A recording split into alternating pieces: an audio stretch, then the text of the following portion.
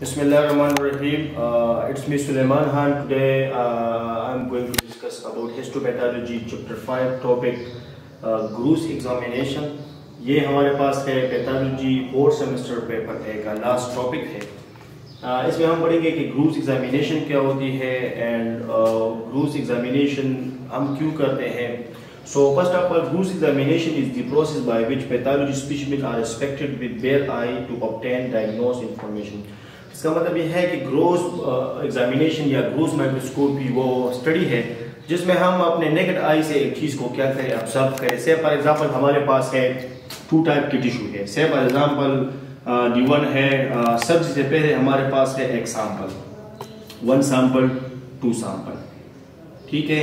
एक सैंपल ये है कि इसको हम ऑब्ज़र्व नहीं कर सकते विदाउट माइक्रोस्कोप ये हम, हम इसको आइडेंटिफाई नहीं कर सकते। एग्ज़ाम्पल ये है कि हम अपने बेर आई से इनको क्या करें देखे स्टडी करें कि वो सैंपल या वो टिश्यू क्या है? खराब है इन्फेक्टेड है डेथ है डीके है या जो भी है तो इसको हम क्या करते हैं? ग्रोस एग्ज़ाम एग्जामिनेशन इसको कह सकते हैं। यानी टू फ़िज़िकल ऑब्ज़र्व एक, चीज़ को हम फ़िज़िकल ऑब्ज़र्व करें थ्रू नेकेड आई इसको हम क्या कहते हैं? ग्रोस एग्जामिनेशन या ग्रोस माइक्रोस्कोपी सो इसका मतलब ये है कि जितने भी हेस्टो टेक्निक्स है, जितने भी हेस्टोपैथोलॉजी टेक्निक्स है तो सबसे पहले, सबसे इंपॉर्टेंट चीज़ क्या है? अगर से फॉर एग्जांपल हम एक बंदे से क्या करें?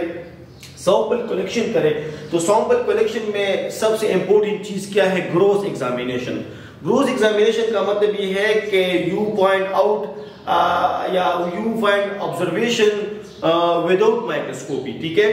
तो इसका मतलब ये है कि जब हम एक चीज़ को अपने नेकेड आई से देखें, इसको ऑब्ज़र्व करें, इसमें पोटेंसी देखें कि इज़ इट गुड आर इसकी फ़िज़िकल अपेयरेंस देके स्ट्रक्चर इनको देके या इसके अलावा सैंपल की जो जो मार्फोलॉजी है, इनको आप देखे कि इधर इज़ बैड गुड तो इसका मतलब है कि growth examination one of the most important चीज़ है कि अगर हम हिस्टोपैथोलॉजी करें तो हिस्टोपैथोलॉजी में सबसे इंपॉर्टेंट चीज़ क्या है? ग्रोथ माइक्रोस्कोपी जितने भी कैंसर सेल्स होते हैं तो कैंसर सेल एक तो ये है कि फ़िज़िकल हम इनको से फॉर एग्ज़ाम्पल एक फ़िज़िकल है सब क्यूटीनियस है या क्यूटीनियस बॉडी पे अगर इस तरह की कोई हो जाए से फॉर एग्ज़ाम्पल अगर बॉडी पे पस्सिल आ जाए तो हम इसको क्या करें फ़िज़िकल ऑब्ज़र्व कर सकते हैं। अगर से फॉर एग्ज़ाम्पल यूरिन में या ब्लड में इस तरह की कोई एबनॉर्मलिटी आ जाए तो हम वो ग्रोस माइक्रोस्कोप इनको नहीं कर सकते because we need microscope right तो इसका मतलब ये है कि विदाउट माइक्रोस्कोप जितने भी हम स्टडी करते हैं through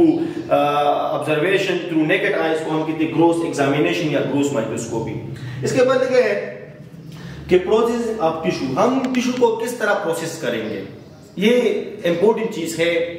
तो सबसे इंपॉर्टेंट चीज़ ये है कि अगर हम टिश्यू को प्रोसेस करें टिश्यू को आइडेंटिफाई करें या टिश्यू को स्टडी करें तो सबसे इंपॉर्टेंट चीज़ ये है कि हम लैब में किस तरह परफॉर्म करेंगे।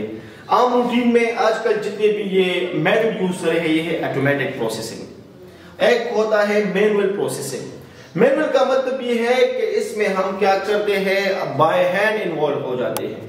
बाय हैंड का मतलब ये है कि ये वो प्रोसेस है जिसमें हमें हैंड की क्या होती है? कारामत ज़्यादा होती है। Say for example when tissue is changed from one container reagent to another by hand. तो इसका मतलब ये है कि ये वो प्रोसेस है जिसमें से फॉर एग्जांपल हम एक टिश्यू को कन्वर्ट करें सेकंड कंटेनर ठीक है? ये हमारे पास है वन ये हमारे पास है सेकंड तो ये भी ये है कि ये इसमें क्या होती है? इन्वॉल्व होती है हैंड का मतलब फ़िज़िकल तो जब हम अमूमन अपने वो फ़िज़िकल तरीके से लैब में परफॉर्म करते हैं, इसको हम कहते हैं मैनुअली प्रोसेस और मैनुअली प्रोसेस का मतलब ये है कि it is a slow method ये बहुत ज़्यादा स्लो मेथड है. ये वो, ये स्टेबल नहीं होता. इसका रिज़ल्ट एक्यूरेट नहीं होता. इसका रिज़ल्ट में कुछ चेंज हो जाती है. टेम्परेचर की वजह से हो सकती है. एनवायरमेंटल हैजर्ड की वजह से हो सकती है डिस्टर्बिंग की वजह से होती है। तो इसका मतलब ये कि मैनुअली प्रोसेसिंग जितनी भी है, वो ये है कि इसमें हम अपने फ़िज़िकल तरीके से क्या करते हैं लैब में खुद परफॉर्म करते हैं, लेकिन it is a very slow method slow method का मतलब ये है कि से फॉर एग्ज़ाम्पल अगर आप एक आवर में एक सैंपल को क्या करें प्रोसीड करें तो ये क्या है पॉसिबल है। अगर आप ये कहें कि एक मिनट में या एक घंटे में आप हज़ार सैंपल को प्रोसीड करें ये इम्पॉसिबल है। तो ये क्या है? मैनुअली प्रोसेस क्या है? ये एक स्लो मेथड है। ये स्टेबल नहीं होता और ये हम अपने क्या करते हैं? अपने हैंड से परफॉर्म करते हैं। ऑटोमेटिक प्रोसेसिंग ये वो प्रोसेसिंग है जिसमें हम वन टाइम में मल्टीपल स्पीसीबल क्या करते हैं? इसकी आ, आ, आ, इसकी परफॉर्मेंस करते हैं। से फॉर एग्जांपल हमारे पास है एलाइजा एंजाइम इम्यूनोसॉर्बेंट एसिड इसमें हम 5 मिनट में 92 लोगों की जो सैंपल है, वो क्या करके प्रोसीड करते हैं। तो इसका मतलब ये है कि ऑटोमेटिक प्रोसेस ये वो प्रोसेस है जिसमें time consuming less time consuming होता है। इसमें इंसान की टाइमिंग यूज़ नहीं होती। इंसान अच्छी तरीके से एक चीज़ को क्या करता है ऑब्ज़र्व कर सकता है आइडेंटिफाई करता है ट्रीट कर सकता है और विद ऑफ़ टाइम ये इंसान के लिए क्या है फ़ायदेमंद इसलिए है कि आप वन टाइम में या फाइव मिनट में या सिक्स मिनट में या वन आवर में हज़ारों की तादाद स्क्रीन कर सकते हैं।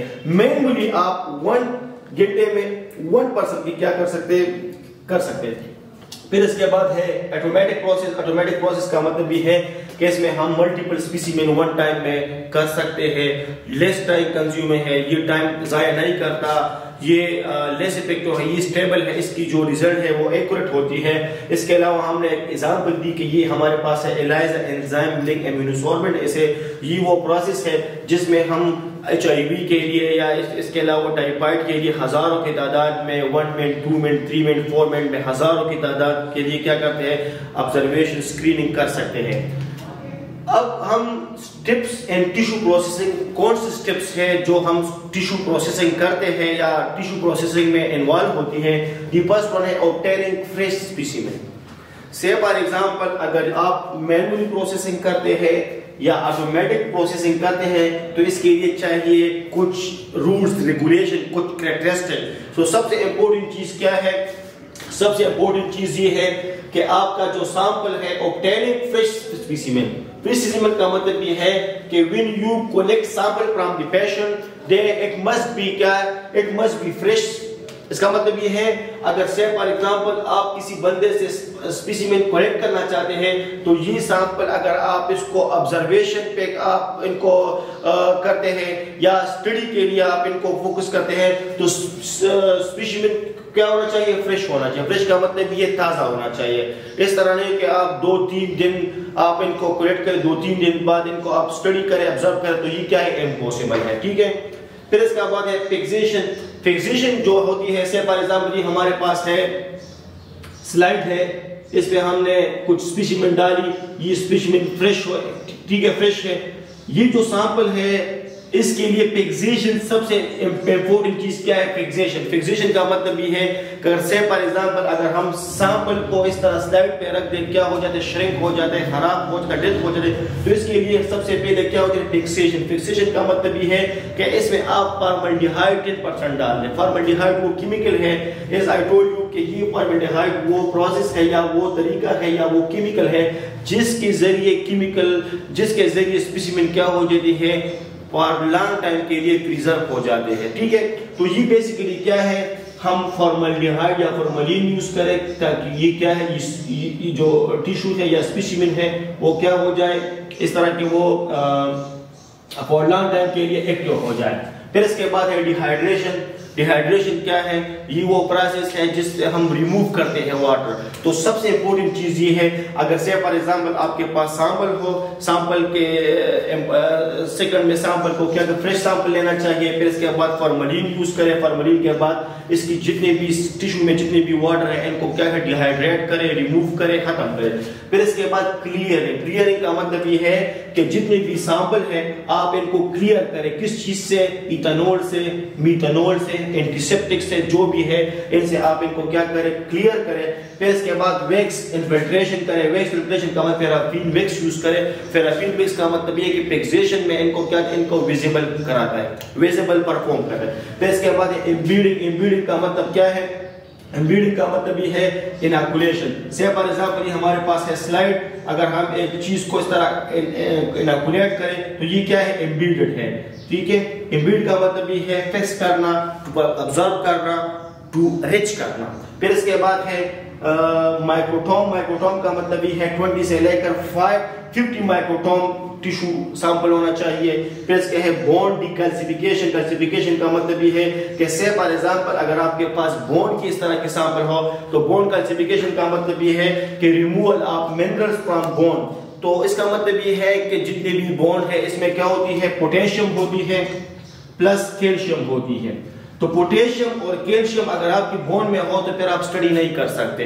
तो सबसे पहले हमें क्या करना चाहिए? Calcification of bone calcification of bone का मतलब है कि रिमूव जितने भी बोन में जितने भी मिनरल्स हैं इनको हम क्या करें? रिमूव करें। किस चीज़ के ज़रिए? इसोपोर प्लस नाइट्रिक्स एसिड्स के ज़रिए। तो इसका मतलब ये है कि जितनी भी ये हमारे पास स्टेप्स हैं जितने भी हमारे पास प्रोसेस है, ये हिस्टोपैथोलॉजी के लिए क्या है? इम्पोर्टेंट है। इसके बगैर हिस्टोपैथोलॉजी आप परफॉर्म नहीं कर सकते। Thank you so much Allah